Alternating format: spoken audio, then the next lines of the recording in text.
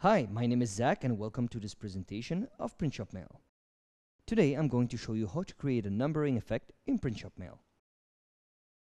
To create this numbering effect, I'll be using a tool called the Expression Editor. First I need to create a text box and in this box I'll be inserting two variable markers and in between these markers I will be inserting a value. This value will be in fact the counter, one which will change on every postcard. Then I'm going to call up my expression editor, which is a library of full of amazing ready-to-use functions. And then I'm going to select number on the side here and select the options for counter. From here, I can start building my counter. So my starting value is going to be the same number I had previously entered in the box. In the end value field, I can enter whatever I want.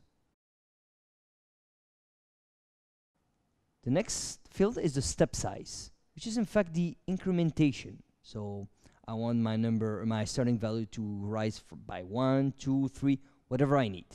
Number of position, I'm entering seven.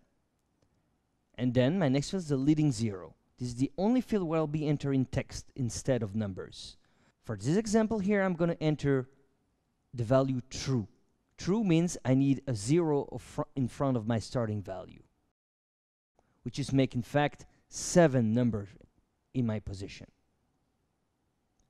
And I can easily click OK. And now I'm going to click OK. It's going to create my numbering effect. I can easily edit the size of the font. Now as you can see, I create a number effect for all my different postcards.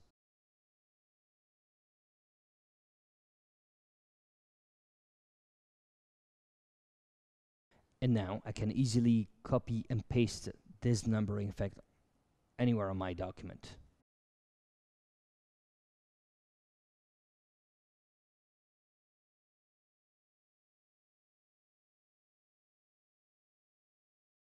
Let's see now the general preview.